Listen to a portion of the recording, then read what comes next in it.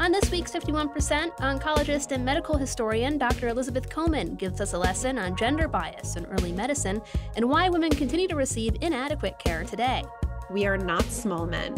The way that our bodies function is very different from men, and that requires an understanding of diseases that may not occur in men and diseases that have been largely ignored. Dr. Comen also offers up some advice on how to better advocate for yourself with your doctor. I'm Jesse King. It's all up next on 51%. I was standing around like one of those girls I had seen in a movie. The whole world was a movie back then. I had my sunglasses on, I wanted to be seen without seeing Shiloh leader. I wasn't really in it, I didn't really get it. Listening to 51%, a WAMC production dedicated to women's issues and experiences. Thanks for joining us. I'm Jesse King. We've got a number of episodes on reproductive health, specifically endometriosis, coming down the pipeline for you in the next couple of weeks. But before we embark on that, for the last week of Women's History Month, I thought it would be fun to brush up on our collective medical history. Our guest today is Dr. Elizabeth Comen, an oncologist treating breast cancer patients at Memorial Sloan Kettering Cancer Center in Manhattan, and an assistant professor of medicine at Cornell Medical College. She's also a medical historian. Before graduating from Harvard Medical School and becoming a doctor, she earned her bachelor's in the history of science. She combines the two in her new book, All in Her Head The Truth and Lies Early Medicine Taught Us About Women's Bodies and Why It Matters Today. As Comen will tell us, women are not just men with uteruses, and women's health is more than obstetrics and gynecology. But early medicine was largely built around men. And throughout history, doctors have either ignored women's health concerns, treated their bodies as objects, or inflicted their own ideas and biases upon them.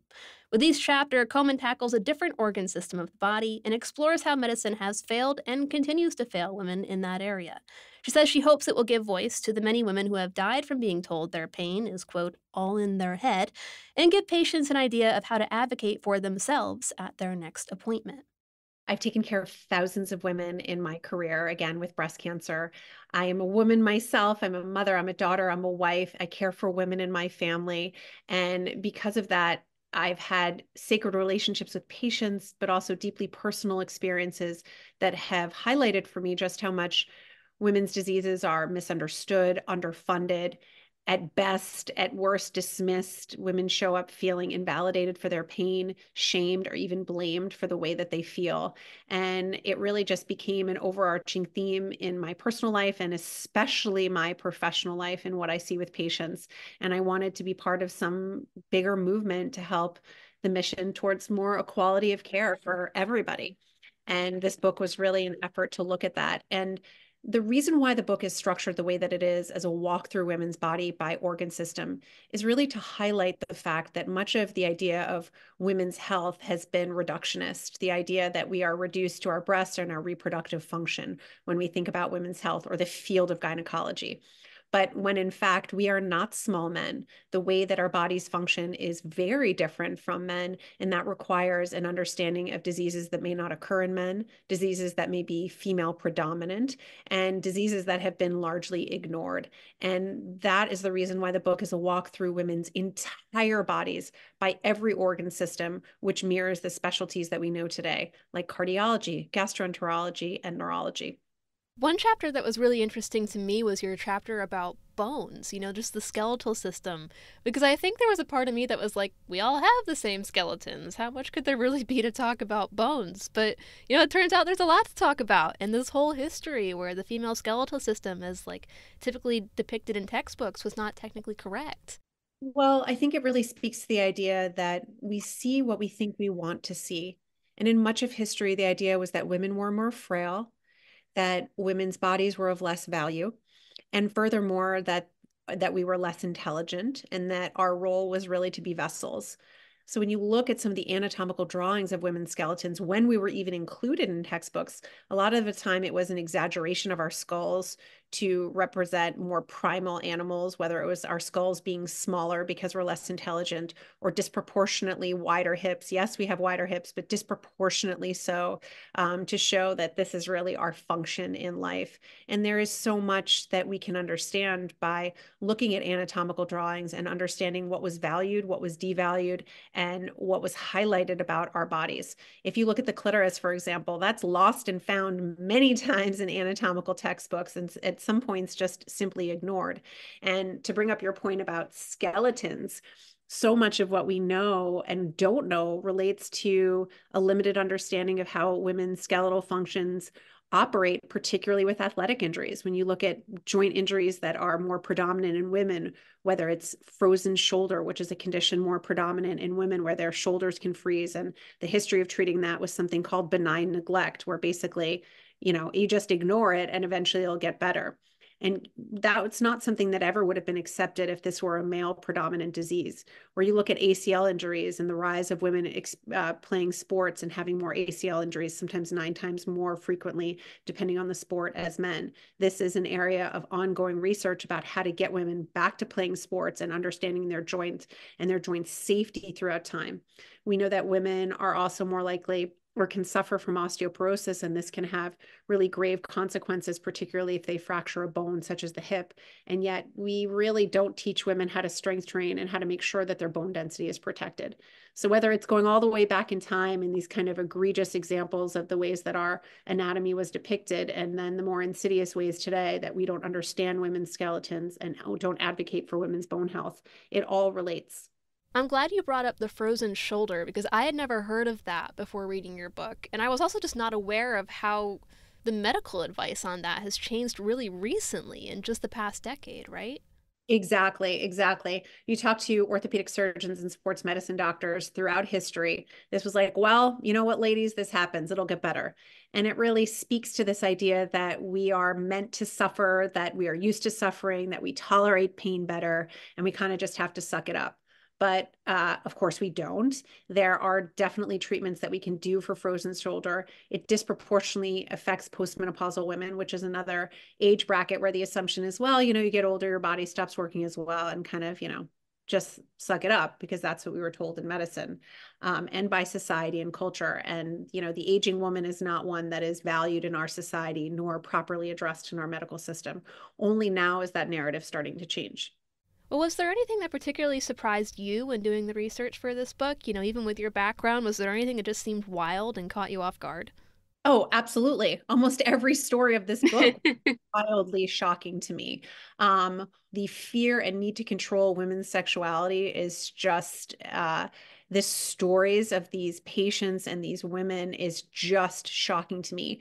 I think some of the torturous things that women experienced, whether it's having organs removed, like their uterus, their ovaries, their clitoris, or other organs removed uh, because they were deemed crazy, or the lobotomies that were performed in the 1940s to subdue women or in the 1920s, how there was a famous psychiatrist, Dr. Henry Cotton, who suggested that you know, insanity in women was a function of focal infections, and those infections were likely in the teeth. So the primary treatment for crazy women, and by the way, crazy could be being sent to the asylum for having political views, being sent to the asylum for presumed nymphomania, being sent to the asylum because you simply spoke your mind. You could be admitted to an asylum for anything as a woman. And this was the 1920s. And he uh, went on really a rampage of removing teeth in thousands of women, claiming that he had this 85% cure rate, when in fact, what he was doing is if the teeth didn't work, then he would remove other organs, such as abdominal organs like the gallbladder or parts of the colon. And in fact, he had a high mortality rate. So women were literally dying because of these disproportionately performed torturous treatments. And I think I was heartbroken and heartsick reading about how recently that was in our history and how that legacy is inherited today. Wow, yeah. Um, one part that really stuck out to me was your section on bicycles and just how those became demonized when it became more popular for women to ride them, and this like that gave them more mobility and the ability to travel farther from home. So there were stories about how it would deform the female body or like drive her mad. And I think it just really hit home at this idea that a lot of that rhetoric is just about control. Um, can you talk to me a little bit more about that? Because you make it clear that, you know, we're still dealing with a lot of the fallout from this kind of stuff. You know, why does it linger? Well, I think you can see that playing out in our political world right now in terms of how women's bodies and reproductive function and our reproductive health is being threatened and our reproductive agency is being threatened. And people wonder where this comes from. And you need to look no further than history. It's been baked into the system that our bodies are vessels, our bodies are made for reproduction, that uh, we are unstable.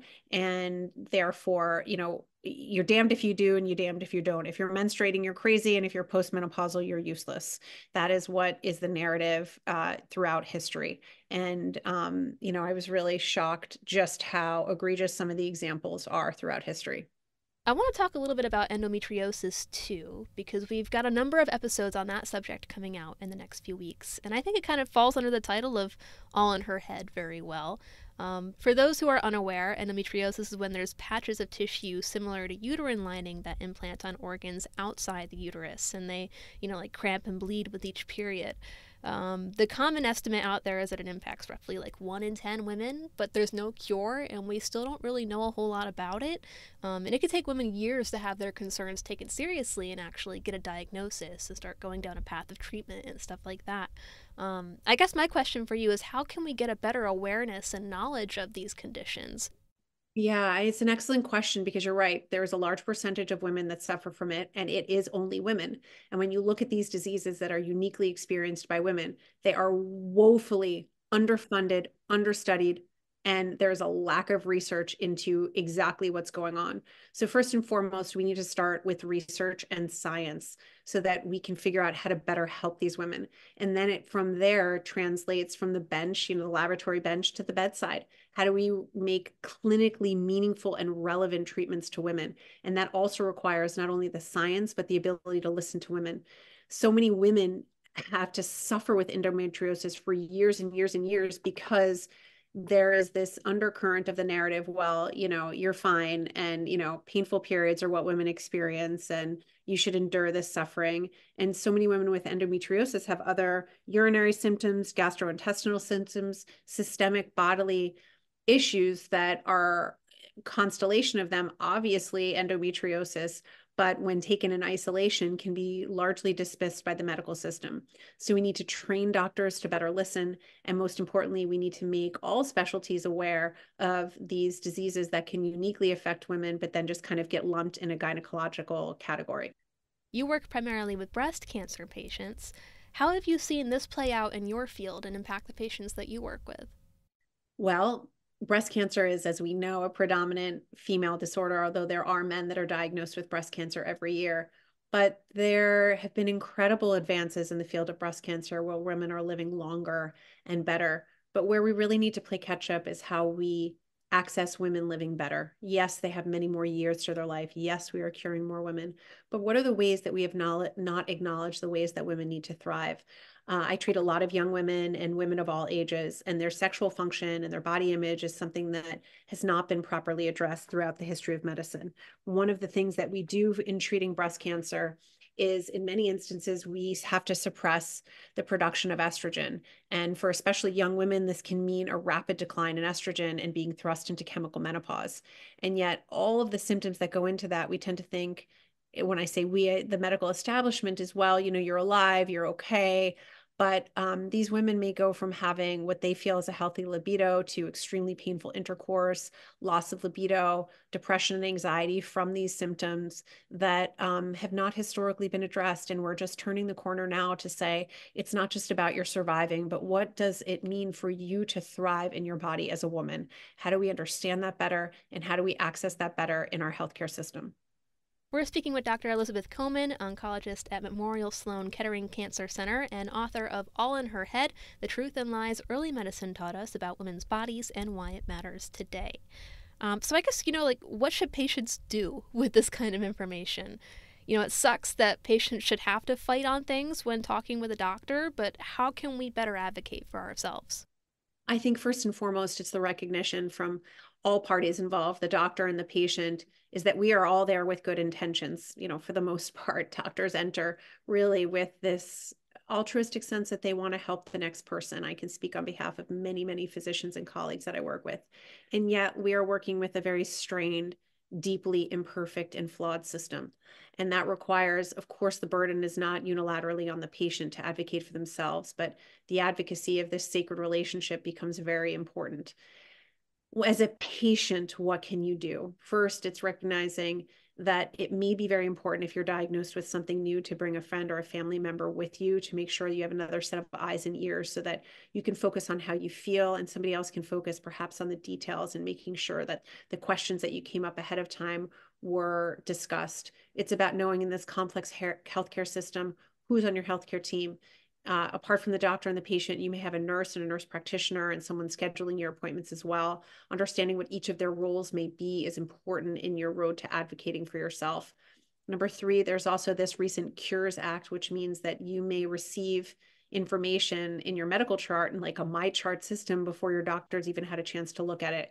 You want to clarify with your doctor how you want to receive information because information without context can be terrifying and really scary.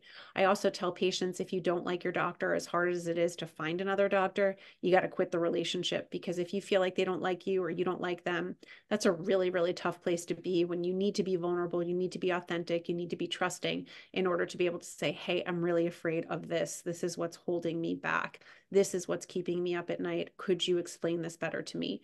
That won't happen if you don't trust your doctor this might be a broad question, so I hope you don't take it as me being like, give me all the answers to all the world's problems. But, you know, how can we nudge the medical industry as a whole on this or, or help with the culture shift away from gender bias? Because, you know, as you mentioned, a lot of doctors are well meaning, and this is just something that we've all become steeped in.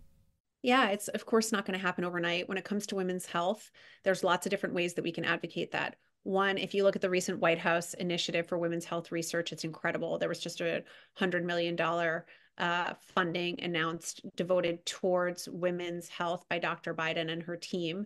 So I think, uh, one, it's about putting our money where our mouth is and demanding of government, philanthropic, and private sourcing to make sure that we are investing in women's health, not just because it's the right thing to do, but because economically it redounds to our society. There are many studies, some by the um, Women's Health Access Matters Now, who commissioned RAND for several studies to show that there is economic benefit, wildly economic benefit to investing in women's health. Um, and so we need to support those companies that are willing to do this important work that's been dismissed for so long. There is the groundswell that's happening among women saying that our health and our bodies matters. That public movement really helps put pressure on the private and the public sector. And then there's the doctors inside, the nurses and the healthcare providers inside the system who can put pressure and saying, you know, we need to figure out how we can carve out time and be valued for what we do so that we can have the best empathy to show up for our patients. And that's just not about women, that's about everybody in society. I think the other thing that we need to put pressure on is insurance companies. There is a lot of money spent in our healthcare system, and third party players can really impact the doctor patient relationship. You may be frustrated that you're waiting hours to see your doctor and wondering what in the world they could be doing. They could be on the phone with an insurance company speaking to a doctor that has never met you, who does knows nothing about your case, but who is denying you the medicine that you need for your care. And your doctor may be spending hours behind the scenes advocating for what they believe is the right medicine for you. We need to give the healthcare providers the power and the agency and the support to care for patients as they know best and not put that in the hands of people who've never even seen the patient in front of you. Was there a favorite chapter of yours to write?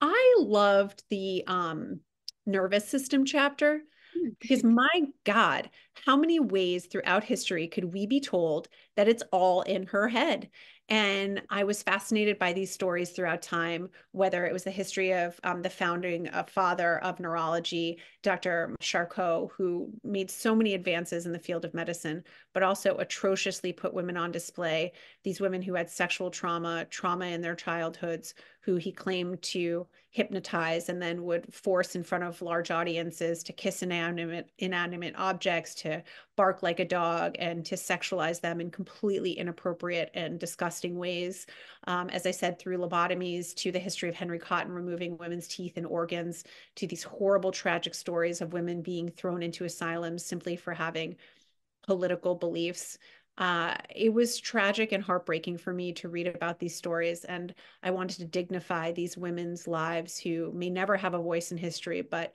we can do a much better job of trying to make sure we don't just dismiss a woman's symptoms today by calling her anxious. We may not be using the same word as hysterical and giving that as a diagnosis, but we still have flavors of that in our healthcare system. And I really appreciated the chance to go back in history and think about how those threads relate to the care today.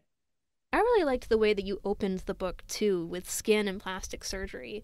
You know, I thought that was a good example of how sometimes it's not about denying women care or telling them that what they're worried about is imaginary or anxiety or all in their head.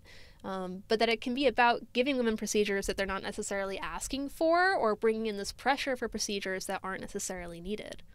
Yeah, and I think the history of plastic surgery is really complicated. On the one hand, you have these incredible advances that can give women their sense of self back, like breast implants, which were certainly not invented for breast cancer patients, but now reconstructive techniques can be essential to helping women feel whole again, mm-hmm. to Botox and how that can feel empowering to look in the mirror and not see yourself as wrinkled as you once were. But again, it weaves in this notion of what is women's value? Are we valued primarily for the way that we look? A lot of people would say yes, and that the aging woman does not have this same power in society as the dignified, distinguished, salt and pepper, gray haired man.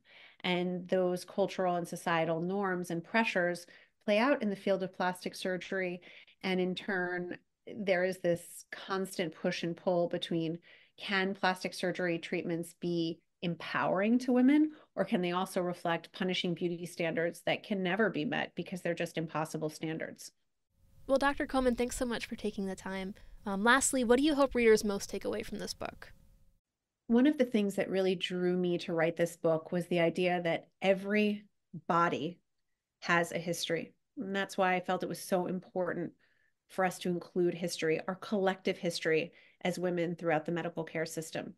My hope is that when women read this book, even though it's about other women, they may see shades or versions of themselves where they've blamed or shamed or been embarrassed about their bodies or afraid to acknowledge what they might be going through or seek the help that they need.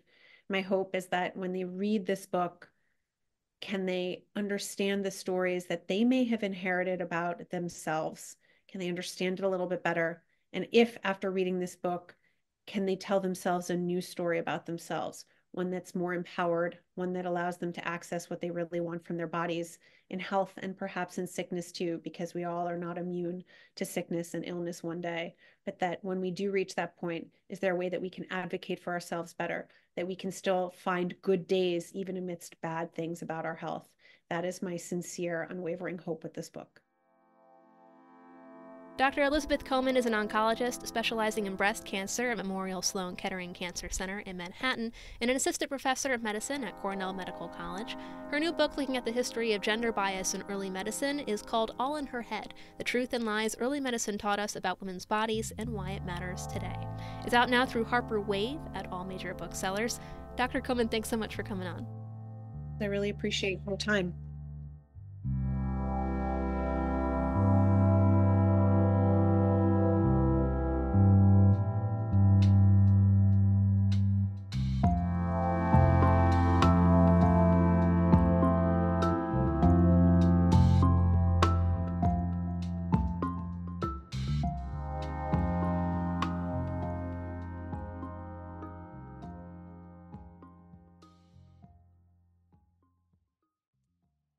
In New York, all pharmacies can now dispense birth control medications to anyone who wants it, after Governor Kathy Hochul signed a standing order that allows the access. Karen DeWitt with the New York Public News Network brings us more.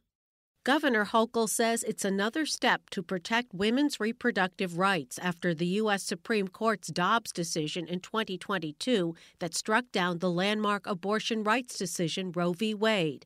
Hochul says Dobbs emboldened some on the political right to try to limit medication abortions and in vitro fertilization. While birth control medicines remain legal in the U.S., some states are placing restrictions on obtaining the pills or contraceptive devices. The governor says in New York, there will be full access. Starting today, pharmacies are now allowed to dispense three different types of contraception medication And any woman can walk into a participating pharmacy and choose the birth control method that best suits her needs. And this will dramatically, dramatically increase access to this for women, particularly at a time when women are feeling discouraged and not listened to. And powerless. State Health Commissioner Jim McDonald says three methods of contraception will be available the oral hormonal pill, conventionally known as the birth control pill, a hormonal vaginal ring, and a hormonal contraceptive patch. McDonald says the order signed by the governor essentially gives the health commissioner the power to issue one prescription that can be accessed by anyone. Basically, what we've done today by me signing this order is if you come to New York and you want to have contraception, I've issued a prescription for you. For this role, I've become your doctor as the state's physician. He says the pharmacists will do a risk assessment to help the person decide which method is best for them. All the prescriptions will be covered by insurance. People from other states can get the birth control medicines and devices too, as long as they are physically in a pharmacy in New York, McDonald says. The way it works if you're out of state is you walk into a New York State pharmacy, show them your insurance card, and just say to the pharmacist, hey, I'm here to see what I can do as far as getting contraception. You're welcome like everyone else. He says everyone who asks can get a year's worth of the medication. The law was supposed to go into effect in January, but Hochul says the state education department needed more time to finalize the regulations. The major chain pharmacies and many independent drugstores are expected to participate. In Albany, I'm Karen DeWitt for the New York Public News Network. Finally, being able to remain calm in a high stress situation takes a lot of practice. At Hudson Valley Community College in Troy, New York, health students recently got the opportunity to train for a range of emergency scenarios and ask questions before facing life or death situations in the real world. WAMC's Lucas Willard gives us a glimpse of their experience.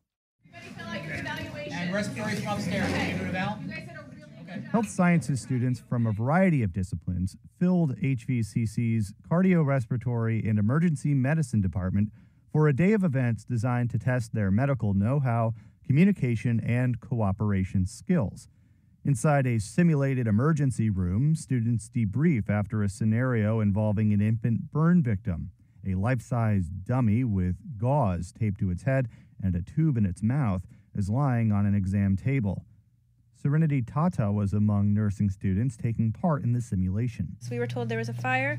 So then I we would we were taught like okay this is a burn victim. What are the most important priorities for a burn victim such as airway, make sure the airway is patent. We want to cover the burns, start fluids and basically protect their vitals. In this scenario, the baby did not survive.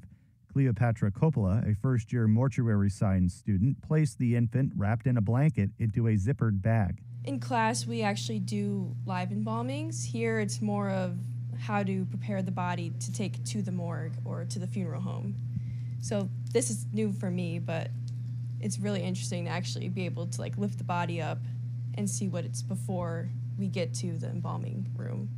Lori Q. Purcell chairs the Mortuary Science Department at HVCC and says participating in the scenarios is an accreditation requirement for seniors in the program. So, it actually what happens is each year they, we've done this simulation. So, the students in every department, but our mortuary students, they're actually, when this baby had deceased, they would now talk with a family to get information, and then the, the, the deceased would be taken either to the funeral home, maybe, you know, depending where it would go. In the scenario involving the infant burn victim, volunteer Connie Hosler acted as the baby's mother. I'm very impressed in how they uh, treat you as a, a parent, like what they've said to me, how they've comforted me, and that kind of thing. I'm really surprised because they're young and they're learning, but they're very good at what they're what they're doing. I think. The simulations run the length of the day. During an afternoon break, a group debriefing is held in a large conference room. Nursing instructor Sarah Konak leads the discussion. Right, you all kept asking me, where's the mom? You should have asked EMS, right? So things like that have started to come up. So be mindful of those. Those are questions that we have to make sure. Konak says the simulations are meant to be treated by students as a professional hospital setting. She critiques the students' use of language and ability to gather information. If there's room for opportunities, those are the safe place to make those errors because we really want them to learn. That needs to be the safe place. They need to be able to make, you know, um, have that safe place to learn, have that safe place to ask questions so that they can see those, see one, do one, teach one type of thing, and then move on to the real clinical setting where they have real live patients. And they've seen those scenarios before, so they can connect those dots on, oh, I've seen this. This is kind of how this should play out, and this is kind of how I should handle the situation. More than 100 HVCC students participated alongside staff and physicians from Albany Medical Center. For WAMC News, I'm Lucas Willard. Thanks for listening to this week's 51%. 51% is a national production of WAMC Northeast Public Radio in Albany, New York. It's produced and hosted by me, Jesse King. Our associate producer is Jody Cowan, and our theme is Lolita by the Albany based artist Girl Blue. Just a reminder that you can listen to 51% anytime at our website, WAMCpodcast.org, or wherever you get your podcasts. And you can stay in the loop on all of WAMC shows by signing up for our weekly newsletter, Airwaves, at WAMC.org. We hope you'll join us next week. Until then, I'm Jesse King for 51%. I was every single girl, I was nobody else, I was so sure of myself. I was 15 and a half, he was a hollow laugh. And I lost my cool somewhere along the way. At night, the hallway, I had to learn how to lost my cool, no electricity. Hot rain on the concrete, sweet